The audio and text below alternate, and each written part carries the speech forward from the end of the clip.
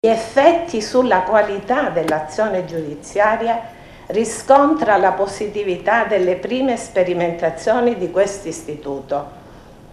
e anche ieri in Cassazione è stato sottolineato che si riscontra una riduzione di pendenze e di durata dei processi civili e penali.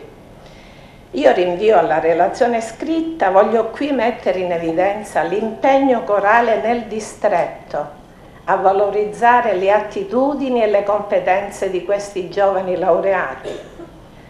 Inoltre, rispettando le raccomandazioni europee di implementare la digitalizzazione dei servizi, diverse sono state le nuove modalità informatico-tecnologiche di lavoro che sono state adottate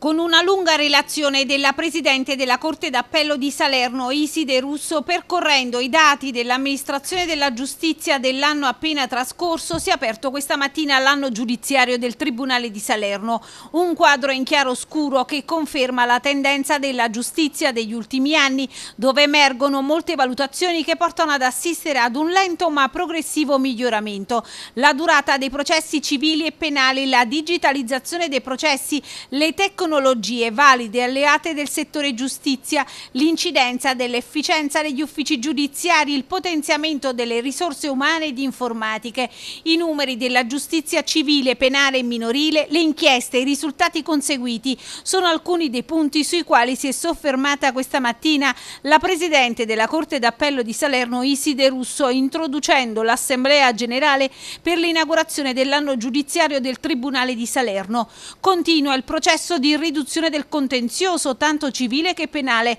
Resta il vuoto nelle piante organiche dei magistrati. Ne mancano 1458 ma il vuoto si caratterizza anche nella pianta organica del personale amministrativo. Un sottodimensionamento strutturale dell'organico che si riflette anche nei tribunali di Salerno, Nocera Inferiore e Vallo della Lucania. Io credo, e mi rivolgo direttamente al collega Caggiano, che è rappresentante del Ministro, in questa assemblea che il Ministero debba valutare l'opportunità di stabilizzare gli addetti. Certo, il numero di 16.000, quanto sono quelli assunti fino al 2026 con contratto a tempo indeterminato, mi pare incompatibile con le risorse finanziarie, ma si potrebbe selezionare tramite ulteriore concorso tra coloro che sono stati assunti a tempo determinato. Ripercorrendo i dati della giustizia penale, la Presidente della Corte d'Appello di Salerno, Iside Russo, non ha trascurato le inchieste avviate dalle forze dell'ordine, segnalando allo stesso tempo un salto di qualità della criminalità organizzata con riferimento al territorio nazionale, ma anche su scala internazionale con collegamenti con paesi come la Siria, la Svizzera, la Libia, l'Arabia Saudita, infiltrazioni della criminalità nel settore economico-finanziario che hanno permesso di dimostrare un peso importante dell'economia dei clan alla lotta all'usura, allo spaccio di sostanze stupefacenti in tutta la provincia con una particolare rilevanza nell'agronocedino sarnese, nell'area portuale commerciale del Molo Trapezio di Salerno, utilizzata come hardware dei traffici illegali internazionali destinati a tutta Europa.